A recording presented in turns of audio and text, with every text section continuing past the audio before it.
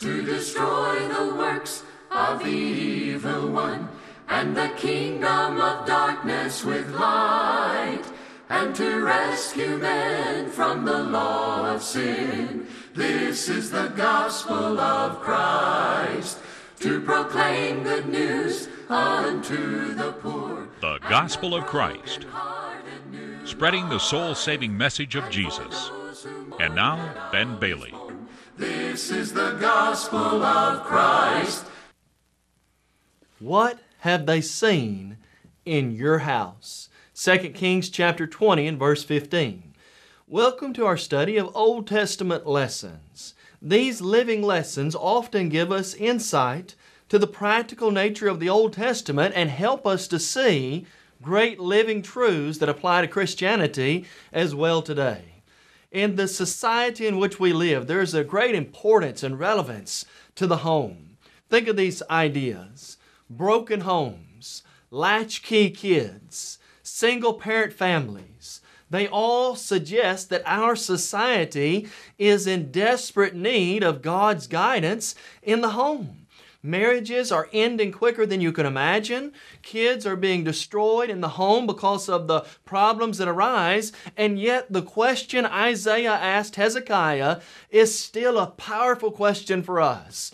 What have they seen in our homes? Do they see godly homes? Do they see godly parents? Or do they see things in the home that ought not to be there? Oh, how we need to be reminded of the words of Psalm 127, verse 1 Unless the Lord builds the house, they labor in vain who build it. The home is God's divine institution. He created it. It's older than the covenants, it's older than the church itself, and yet it is codependent upon those and it works together so well with them. Since God formed the first family, we need to go back to how God wants the home to go. Someone has rightly said, as the home goes, so goes the nation. How true it is as well, as the home goes, sometimes so goes the church. Is our home really a place where we can develop spiritually, where we can glorify God, and where all who are in it are encouraged to go to heaven? Let's first think about the background of 2 Kings chapter 20. In verses 1 through 11, we're told of Hezekiah's miraculous recovery by God. God helps him to recover, gives him more life. And then in verses 12 through 19, we're told about how, how foolish he acted in diplomacy, diplomacy with the Babylonians. He showed the Babylonians exactly what was in God's house. He brought them in, let them see the articles of gold and silver, let them see all the things that they had, the riches, and it is out of this that Isaiah rebukes him. The question of Isaiah is a question for the ages. What have they seen in your house? The real question is not what have others seen in our house, but what has God seen in our homes? It's God who matters. Hebrews 4, verse 13, He's the one who sees all things. He's the one who knows what's within man, John 2, verse 25, and He's the one whom we'll ultimately have to give an answer to in the last day. And so, to help us determine if we have godly homes, we're going to ask and answer three basic questions from the Scripture. And the way in which we answer each of these questions will tell us if we really have a godly home that brings God the honor and glory. Number one, have they seen a godly home? What is a home? What's a godly home? Home is a place where all live and, and love each other and where all live and love God. It's a place where love ought to foster every decision, love for others and love for God. And it is ultimately a place where we can grow spiritually and help one another get to heaven. I believe Deuteronomy chapter 6, verses 4 through 15 gives us the most detailed analysis of what a godly home really is. From this context, you learn four distinct characteristics of a godly home. First of all, a godly home is one that hears the Lord constantly. Notice Deuteronomy chapter 6 and verse 4. The scripture says, Hear, O Israel, the Lord our God is one. What do we need for the home today? We need father and mother. We need children. We need grandparents. We need people in the home who will say, We're going to seek God's advice and we're going to listen to Him as it relates to matters of the home. We can't underestimate the importance of hearing God's Word. Jesus said in Mark 4 24, Take heed how you hear. Luke 8 18, Take heed what you hear. To the seven churches, Jesus makes this refrain He that has ears to hear, let him hear. How we need to listen carefully. We don't need to be like those people in Acts chapter 7 who plugged up their ears and wouldn't listen to Stephen. We need the will and the desire to say, as Samuel said, Speak, Lord, your servant hears. How do we hear the word of the Lord? Well, we hear it by reading His Word. What we need in the home today to hear God's Word is a, a home and a family that will listen to God's Word by reading it. Is the Bible read in your home? Paul told Timothy, give attention to reading and how we need to read the Word of God today. We need to study the Word of God in our homes. 2 Timothy 2.15. Do we have devotional time for study? Do we teach our children the Bible? Do we study it ourselves to make sure we're doing right? And then we hear the word of the Lord by practicing what we hear. A home without the Bible is a horrible home to be in. No one would want to live in a shack like that. Friend, don't you want to live in a home where we practice what we hear, where we put to use the teaching of God from His Word? What else makes a godly home? One that loves the Lord fervently is a godly home. Look at Deuteronomy chapter 6 and verse 5. The second characteristic is you shall love the Lord your God with all your heart, with all your soul, and with all your strength. We need homes that love the Lord fervently. You know, Jesus said this as well. You shall love the Lord with all your heart, soul, mind, and strength. Mark 12, verse 30 following. What does it mean to have a home that loves the Lord fervently? It means that in our home, we're going to seek first the kingdom of God. Matthew 6:33. All decisions in the home are going to be answered by a thus saith the Lord. The actions we take, the programs we watch on TV, the music we let come into our ears, what comes on the internet, God and the Bible and our decisions based on that, that's a home that fervently loves the Lord. Then, a third characteristic found in Deuteronomy chapter 6 is that a godly home is one where children are taught faithfully the Word of God. Notice Deuteronomy 6, verses 6 through 7. The scripture says, And these words which I command you today shall be in your heart. You shall teach them diligently to your children, shall talk of them when you sit in your house when you walk by the way, when you lie down, and when you rise up. What do we walk away with from Deuteronomy 6, verses 6 through 7? Every opportunity available. Everyone that avails itself, we need to be teaching our children the Word of God. Socrates once made a good statement. He said, Could I climb to the highest place in Athens, I would my life and voice proclaim. Fellow citizens, why do you turn and scrape every stone to gather wealth and take so little care of your children to whom you must one day relinquish it all? The people in the time of Athens weren't putting their children first. They were putting their jobs, they were putting their wealth, they were putting their own desires first. And he ultimately said, You're going to give it to them anyway. Why aren't you taking care of them? We need children today who are taught the Word of God. Ecclesiastes 12, verse 1 tells us, Remember now your Creator in the days of your youth, before the difficult days come. While we have opportunity, let's teach our children. You know, behind every godly person is usually a godly parent. What made Samuel such a great man of God? He had a mother named Hannah who gave him first to the Lord. What made John the Immerser such a great paver of the way for Jesus? He had godly parents named Zacharias and Elizabeth who taught him and showed him the way of righteousness. What made Timothy such a great gospel preacher? Well, let's look and see. 2 Timothy 3, verses 14 and 15 tells us, But you must continue in the things which you've learned and been assured of, knowing from whom you have learned them, and that from childhood you have known the holy scripture, scriptures, which are able to make you wise for salvation through faith, which is in Christ Jesus. Timothy's mother and grandmother, Lois and Eunice, taught him from childhood the ways of God.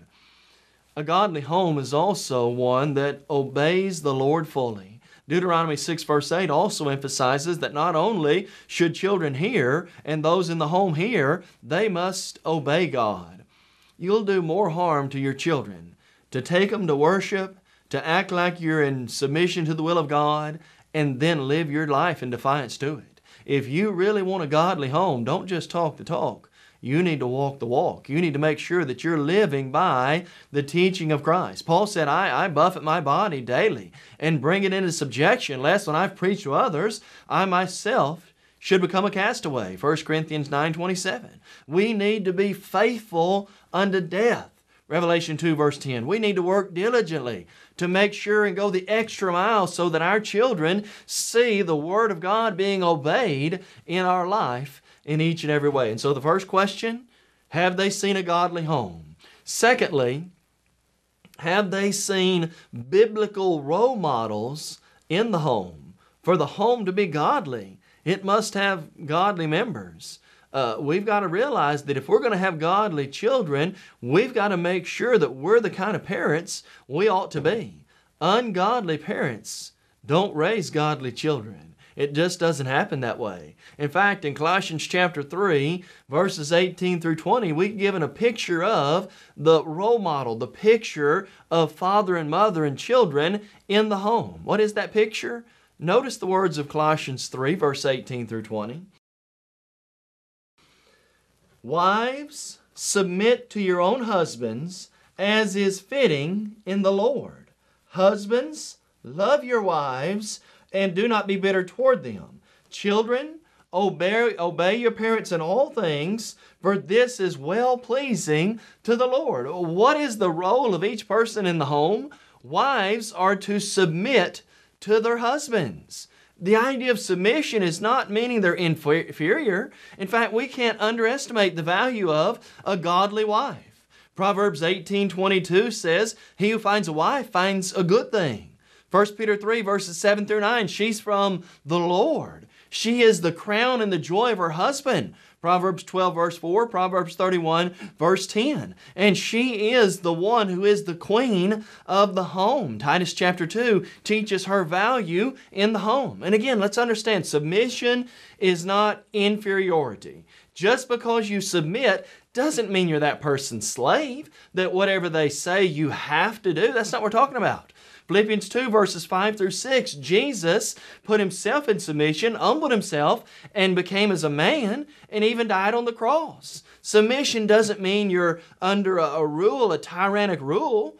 We're under Christ's rule, but he doesn't force us or make us. The Christ is, uh, the church is in submission to God, and yet we still have free will to choose to do what's right. Submission means that we lovingly, and willfully, wives lovingly and willfully allow the husband to lead the home because of the respect he's earned. Because that husband is placed by God as the head of the home, because he is putting everybody else's interest above himself, and ultimately because he's trying to help people get to heaven. Shakespeare said it this way concerning submission. He said, If two people ride on one horse, they both can't sit in the front.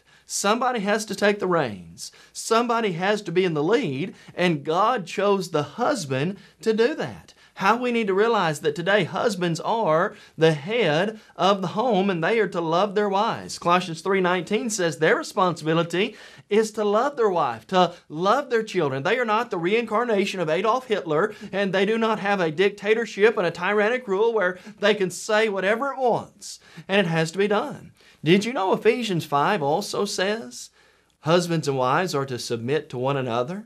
They need to be committed. Husbands need to be committed to loving their wives, just as Christ loved the church and gave himself up for her. They need to have that sacrificial love that they'll put the wife and the family before self. that everlasting love that God has in Jeremiah 31, verse 13 or verse 3, and their love needs to be active. They need to show their love by making sure everyone is provided for, that the family is safe and protected, and that everybody is on the road to heaven. And then children also have a role. Children are to obey. Now let's realize first that children are a gift from God. Notice what the scripture says in Psalm 127, verse 3. Behold, children are a heritage or a gift from the Lord.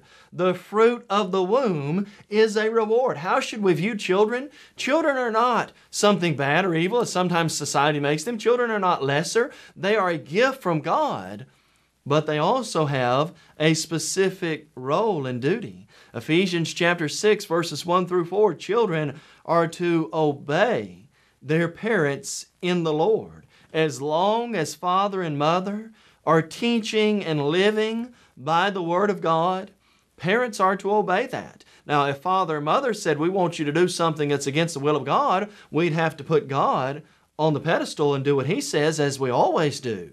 But how we need children who will respect and who will submit to parents so that the home can truly be a godly home. And then let's ask a third question to determine if one home, one's home is truly the right kind of home. Is it a godly home? Do common sins reside in your home? Are there sins of the husband and wife that reside in the home? Is there a, a lack of closeness in the marriage relationship? Is your home nothing more than a glorified holiday inn where people just kind of come and sleep and go to work and that's it? Or is it as 1 Peter 3 7 says, husbands are understanding with their wives. They realize the important, uh, importance of marriage, that God has joined it together, and we should not let anything get in the way. Is there a lack of commitment between husband and wife? Do you really see your marriage as for life?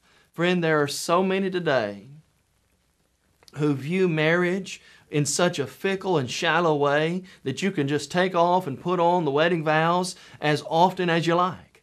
God says marriage is for life. Look at Romans chapter 7, beginning in verse 2. The Bible says, For the woman who has a husband is bound by law to her husband as long as he lives. But if the husband dies, she is released from the law of her husband. So then, if while her husband lives she marries another man, she'll be called an adulteress. But if her husband dies, she is free from the law, so that she is no adulteress, though she has married another man. Therefore, my brethren, you also have become dead to the law through the body of Christ, that you may be married to another, to Jesus, to him who is raised from the dead, that we should bear fruit to God. Now, the application, the illustration is that of marriage, but he says truly, if one dies, then he's free from that law of marriage. We need to realize marriage is a commitment for life. What God has joined together, let not man put asunder. The one and only reason for divorce is fornication, and then and only then can the innocent party remarry? Is there a lack of consideration between husband and wives? Are we selfish? Or do we put others first in the home? Do we consider how our decisions will affect our wives? Do we consider how our decisions will affect our children? Is there a lack of communication? Uh, you know, the Bible says a family that prays together, or the scriptures teaches that prayer is an important part in our communication with God and in the family. Jesus taught us that we ought to pray. We see from his example that in Mark 1:35. The scripture says that we ought to pray without ceasing. How we need communication in the family with God and communication between one another. And then are there sins of the children in the home that need to be corrected? Are children really obedient? Do children obey their parents? Exodus chapter 20, verse 12, Ephesians chapter 6, verse 1, Deuteronomy 27, verse 16. Are they really submitting to and obeying the parents? Do children disrespect their parents? You know, there's less respect for parents, seems today, than there's ever been.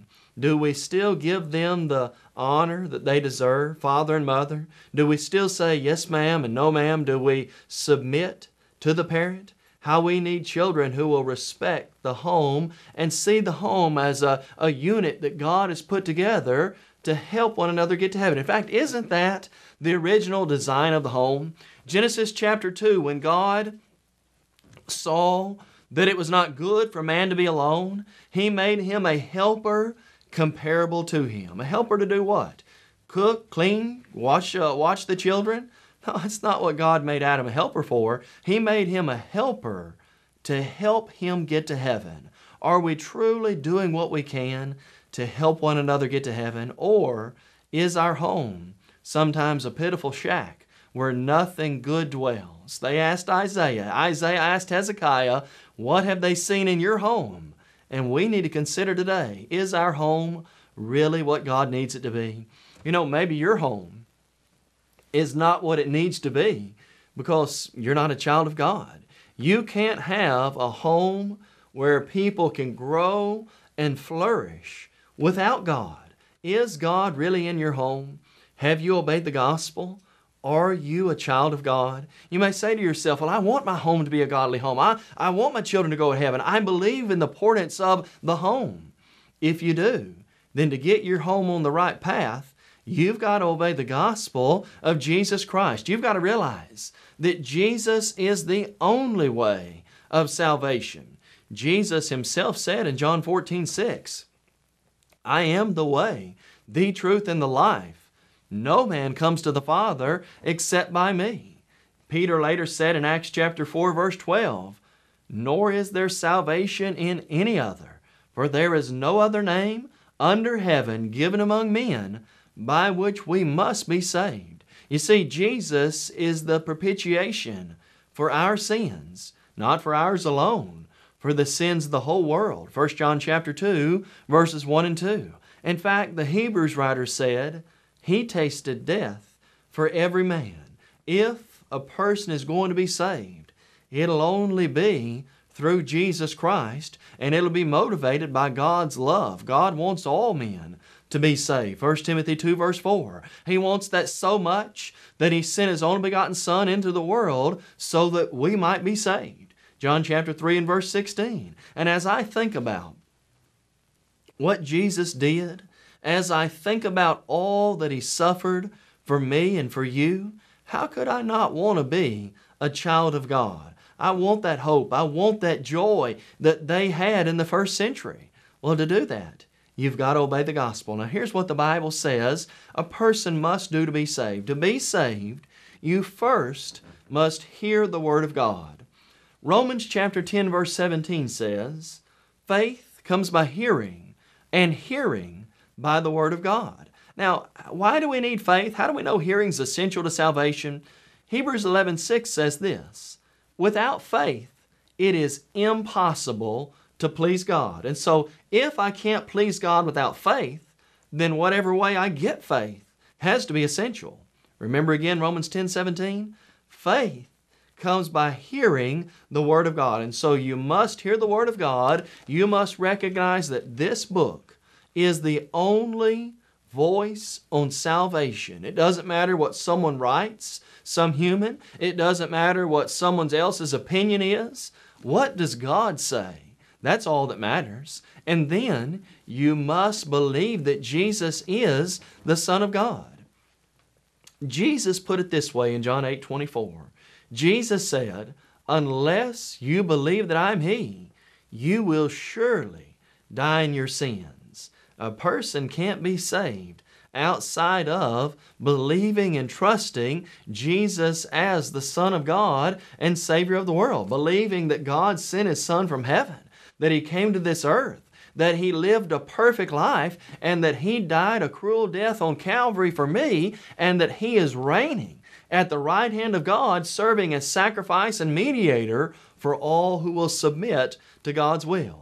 But then you also must be willing to repent of those things in your life that you know are not right. In Luke chapter 13, Jesus says in verse 3 and in verse 5, Unless you repent, you'll all likewise perish. Now, repentance is a changed will that leads to a changed way in one's life. Once I hear what God's will is, I've got to repent and turn from sin. Acts chapter 3 and verse 19. But just turning from sin isn't enough.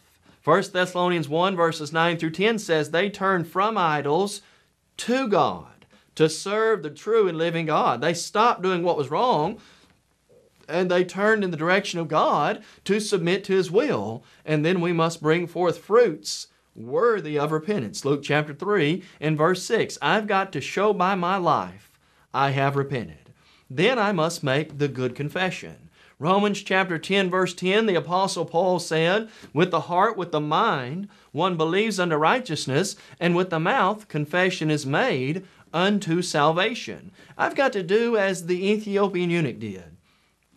When asked, Here is water, what doth hinder me? The response was, If you believe with all your heart, you may. And he said, I believe that Jesus is the Christ, the Son of God. Acts chapter 8, verse 36 and 37. You see, Jesus said in Matthew 10, 32 and 33, You won't confess me before men, neither will I confess you before my Father who is in heaven. And then, fifth step in God's plan of salvation is that you must be immersed in water for the forgiveness of sins. Baptism is essential to salvation.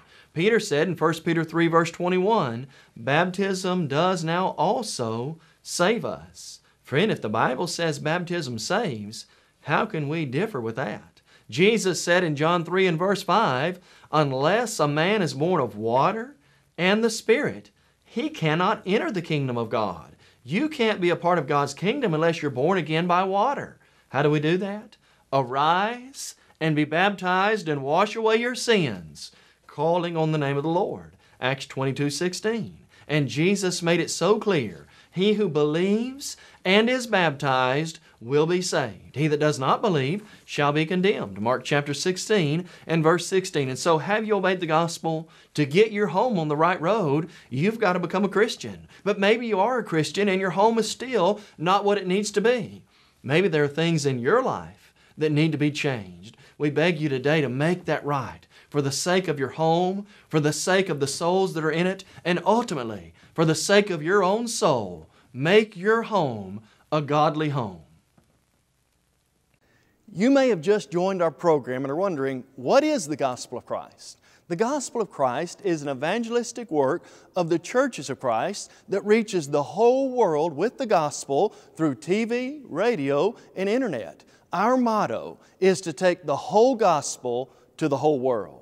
We believe in having a book, chapter, and verse for everything we say and do. And unlike many religious groups today, we're concerned about lost souls, not your wallet.